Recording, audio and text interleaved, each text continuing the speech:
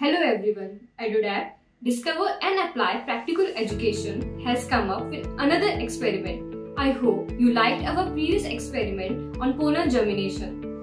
Today, we are going to perform an experiment to study the effect of temperature and pH on the activity of salivary amylase.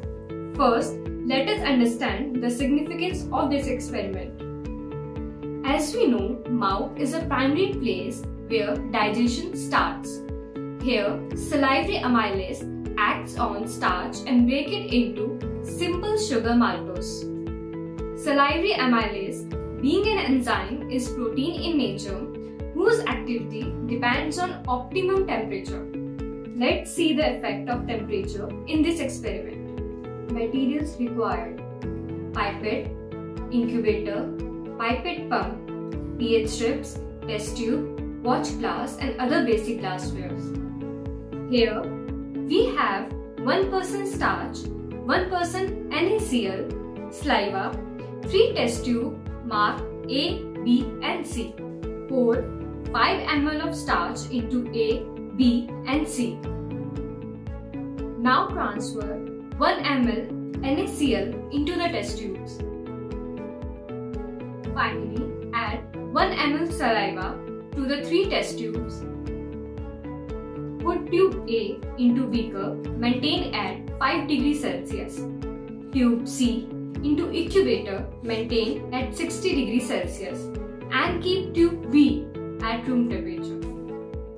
Using a pipette, transfer 1 ml of solution into series of 6 tubes for each sample.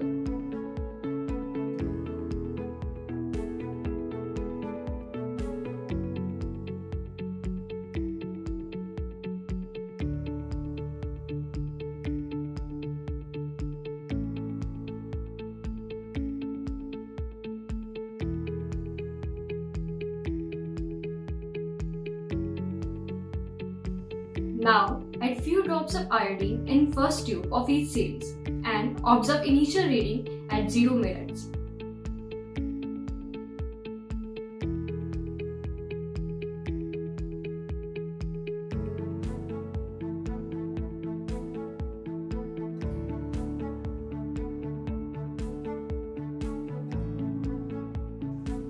Repeat the same step at interval of 2 minutes and observe the change in color. After 12 minutes, we observe that iodine does not turn the solution to blue-black in the tube maintained at room temperature, which indicates that the starch is no more present in the tube. But the same does not happen with test tubes maintained at 5 degree and 60 degree. Therefore, we can conclude that salivary amylase does not digest starch at 5 degree and 60 degree, but reaches achromatic point at room temperature in 12 minutes. Moving on to the effect of pH.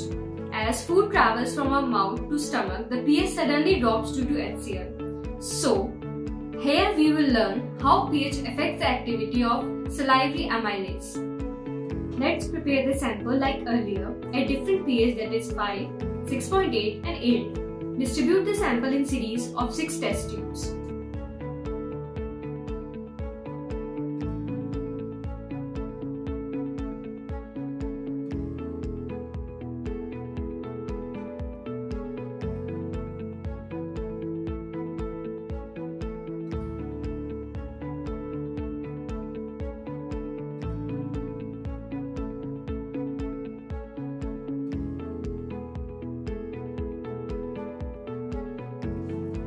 Add iodine to first tube of each series and observe the reading at 0 minutes.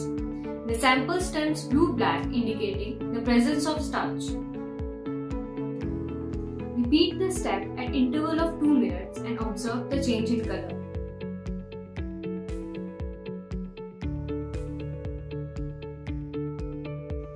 This time we can see the solution at 6.8 pH does not turn blue-black at 12 minutes. Hence, it reaches the achromatic point in 12 minutes.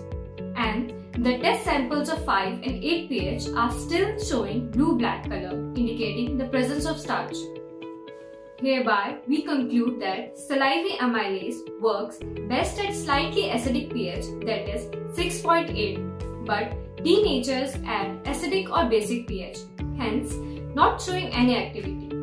Hope you guys liked the experiment. Next time we will meet up in a chemistry lab. Till then, please like, share and subscribe and keep learning with EduDAP.